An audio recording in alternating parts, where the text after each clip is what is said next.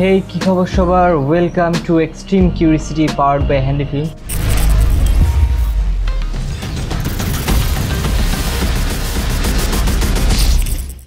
আজকে আমাদের যে ভিডিও টপিক সেটা হচ্ছে আমাদের কমেন্ট সেকশন থেকে নেওয়া।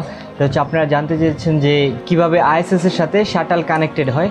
আই মিন কীভাবে ইন্টারন্যাশনাল স্পেস স্টেশনের সাথে শাটাল যেই রকেটটা আছে যে অরবিটারটা সেটা কীভাবে ওই স্পিডে একসাথে কানেক্টেড হয়, সেই ব্যাপারে জানতে চেয়েছেন।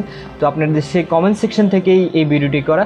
আর আপনারা যারা এখন আমাদের চ্যানেলে সাবস্ক্রাইব করেননি চ্যানেলটি সাবস্ক্রাইব করে নেবেন উইথ বেল আইকন যাতে আমাদের পরবর্তী ভিডিও আপলোড করার সাথে সাথে আপনাদের কাছে নোটিফিকেশন চলে আসে। আর আপনারা দেশের এবং দেশের বাইরে থেকে যারা দেখছেন, তাদেরকে অনেক বেশি ধন্যবাদ এবং আমাদেরকে সাপোর্ট দেওয়ার জন্য। তো চলুন জানি কীভাবে শাটালের সাথে স্পেস বা ইন্টারন্যাশনাল স্পেস স্টেশন কানেক্টেড হয়। আমি প্রথমে আগে ইন্টারন্যাশনাল স্পেস স্টেশন বা আইএসএস, এটা সম্পর্কে একটু বলতে চাই। এটা একটা স্পেস স্টেশন বা মহাকাশের একটি স্টেশন, যেখানে হচ্ছে বিভিন্ন দেশের যে এরকম রকেট পাঠানো হয় বা যেসব মডিউলগুলো পাঠানো হয়, সেখানে তারা বিভিন্ন ক্যাপসুল আকারে জয়েন করা হয়। আমরা যেরকম ট্রেন স্টেশনে বিভিন্ন ট্রেন এসে জমা হয়, তো ওটাও একটা স্টেশন মহাকাশে। সেই স্টেশনে বিভিন্ন ধরনের রকেটের মডিউলগুলো সেখানে কানেক্টেড হয় এবং সেখান থেকে বিভিন্ন গবেষণা এবং বিভিন্ন ধরনের কার্যক্রম করা হয় মহাকাশে থেকেই। তো সেখানে শাটাল যে রকেট, এটা একটি রকেটের নাম। সেই শাটাল রকেটের যে অরবিটার, সেটাকে মহাকাশে পাঠানো হয়, যেটার একশো পঁয়ত্রিশটির মতো মিশন হয়েছিল। এই একশো পঁয়ত্রিশ বার এটি মহাকাশে গিয়েছিল এবং তার বেশিরভাগই এই আইএসএসের সাথে কানেক্টেড হয়েছে। তো এখন কথা হচ্ছে যে, এই স্পেস স্টেশন যেটি পৃথিবীর চারপাশে ঘুরছে বা মহাকাশে ঘুরছে, সেটির স্পিড হচ্ছে অনেক বেশি স্পিড সেটি আমি আবার আমার অন্যান্য ভিডিওগুলোতে বলেছিলাম আইএসএস সম্পর্কে, যেটির স্পিড হচ্ছে সেভেন পয়েন্ট সেভেন কিলোমিটারের মতো পার সেকেন্ড যেটি এক সেকেন্ডে সাত দশমিক সাত কিলোমিটারের চেয়েও বেশি জোরে যাচ্ছে এই স্পেস স্টেশনটি যেটি এত স্পিডে চলছে। তো এত স্পিডে চলন্ত একটা জিনিসের সাথে অন্য আরেকটি শাটাল যে ওই অন্য আরেকটি রকেট সেটি কীভাবে কানেক্টেড হবে, এটা আসলে একটি কমপ্লেক্স সিস্টেম আপনারা অনেকে জানতে চেয়েছেন যে এটা আসলে কীভাবে সম্ভব হয়। তো এটি মেনলি হচ্ছে যখন এই স্পেসে এই স্পেস স্টেশনটি আইএসএসটি যখন এই এত স্পিডে চলতে থাকে সাপোজ এই স্পেস স্টেশনটি এদিকে চলছে এবং শাটাল যেই রকেটটি সেটিকে আমরা প্রেরণ করলাম এবং সেটিকে এই নির্দিষ্ট উচ্চতায় আসতে হবে, যেই অ্যালটিটিউডে এই স্পেস স্টেশনটি আছে। তো শাটাল রকেটটি আমরা যখন প্রেরণ করলাম, তখন এটিও আস্তে আস্তে উঠতে থাকবে। উঠতে উঠতে তো একটা নির্দিষ্ট পর্যায়ে আসবে এবং সেই স্পিড গেইন করতে থাকবে এবং সেই উচ্চতায় আসতে হবে শাটল রকেটটিকে তো নির্দিষ্ট উচ্চতায় এবং নির্দিষ্ট স্পিডে শাটল রকেটটি আসার পরে, তো এই শাটলটি এই আইএসএস এর বরাবর যখন আসবে স্পিড এবং যখন এটার উচ্চতা দুটোই আইএসএস এর স্পিড এবং উচ্চতা সমান হবে, তখনই মনে হবে যে দুটি একসাথেই চলছে। তো তখনই এটা ডকিং সিস্টেমটা শুরু হয়। ওকে এখন আমরা দেখব যে একটি শাটাল কীভাবে আইএসএস এর সাথে কানেক্ট হয়। তো আমার হাতে এখানে একটি আমি শাটালের একটি মডেল আপনাদের জন্য তৈরি করেছি, যেটা দিয়ে আমি আপনাদেরকে বোঝানোর চেষ্টা করব যে কীভাবে এই শাটাল স্পেসক্রাফটটি বা শাটাল অরবিটারটি আইএসএস এর সাথে কানেক্টেড হয়। তো সাপোজ আমি ধরে নিই যে আমাদের আইএসএসটা হচ্ছে এই অ্যালটিচিউডে এবং আমাদের শাটালটা আমরা পৃথিবী থেকে প্রেরণ করলাম এবং সেটি নির্দিষ্ট উচ্চতা এবং সেই আইসিসির যে ভ্যালোসিটি যেটা আমরা জানি যে হচ্ছে সেভেন পয়েন্ট সেভেন কিলোমিটার মতো পার সেকেন্ডে এটা এত স্পিডে চলছে। তো শাটালটাকে ঠিক সেম উচ্চতা এবং সেম স্পিডটাই গেইন করতে হবে, যাতে এটার বরাবর সোজাসুজি চলে আসতে পারে বা যাতে মনে হয় যে দুটোই স্থির। তো শাটালটাকে এরকম একটা স্পিডে এবং এই এরকম একটা অল্টিটিউডে আসতে হবে, যেটাতে এই এই আইএসএসের স্পিড এবং আইএসএসের অল্টিটিউডের সমান হতে পারে বা সমান হয়। এরকম একটা স্পিড এটাকে গেইন করতে হবে। তো ওই স্পিডে গেইন করার পরে এটা, এটার আইএসএস যদি এই পজিশনে থাকে, তো শাটালটা এদিক থেকে নিচ থেকে আসলো।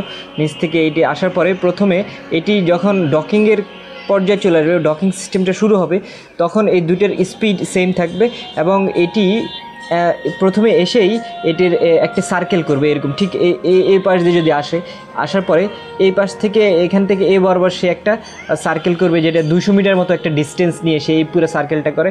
করার পরে সে এই সার্কেলটা করে তারপরে আরও উপরে চলে আসলো এবং এটার যে ডকিং পোর্টটা থাকে আইসএসের কাছে সেই পোর্টটা আস্তে আস্তে কানেক্ট হয়। তো এই ডকিং সার্কেলটা করে, দুশো মিটার সার্কেলটা করে, তারপরে সে হচ্ছে আইসএসের একেবারে সামনের দিকে চলে আসে সামনের দিকে চলে আসার পরে এটা এখানে আস্তে আস্তে প্রথম আস্তে আস্তে এটির কাছে আসতে থাকে এবং এটির স্পিডটা একটু স্লো করতে থাকে। যেটি প্রতি প্রতি সেকেন্ডে চার চার ইঞ্চি করে কমতে থাকে। তো প্রতি সেকেন্ডে চার ইঞ্চি কমতে কমতে কমতে এটি অনেক আস্তে একটা সিস্টেমে এই আইএসএসের সাথে কানেক্ট হয়। এবং এই শাটালের যেই কানেক্টিং বা ডকিং যে মেকানিজমটা থাকে, সেটাতে হচ্ছে দুইটা আলাদা আলাদা রিং থাকে। প্রথম রিংটা থাকে হচ্ছে ক্যাপচার লেজ নামে একটা রিং থাকে এবং পরেরটা বেজ বেজ রিং থাকে। ক্যাপচার রিংটাতে হচ্ছে আরও বারো জোড়া আলাদা আলাদা লেস থাকে, যেগুলো হচ্ছে কাটার মতো থাকে ধরার জন্য। এই শাটালের আইসিসের যে ডকিং সিস্টেম আছে, সেটার সাথে অ্যাডজাস্ট হওয়ার জন্য। এবং সেটা আবার অনেকগুলো বোল্ড এবং স্প্রিংয়ের মাধ্যমে সেই মেইন রিংয়ের সাথে লাগানো থাকে। এবং এই দুইটা রিংয়ের একটা স্মুথ পারফরমেন্স করার জন্য এই দুইটা রিং শাটাল ইউজ করা হয়।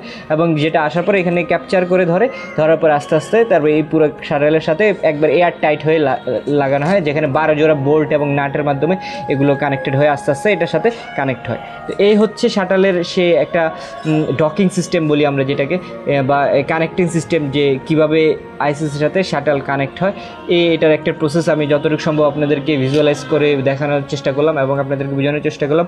এছাড়াও এই ডকিং সিস্টেমটা যতটুকু ইজি মনে হচ্ছে দেখতে বা যতটুকু শুনে মনে হচ্ছে যে আসলে এটা অনেকটা কমপ্লেক্স একটা সিস্টেম শাটালের সর্বোচ্চ শেষ স্টেজটাই হচ্ছে এটা, একটা শাটাল প্রোগ্রামের তো এই হচ্ছে শাটালের সাথে কীভাবে আইএসএস কানেক্ট করি আমরা বা কীভাবে মহাকাশে শাটালের সাথে আইএসএস বা যে কোনো মডিউল কানেক্টেড হয়, এই সিস্টেমটাতে কানেক্ট হয়।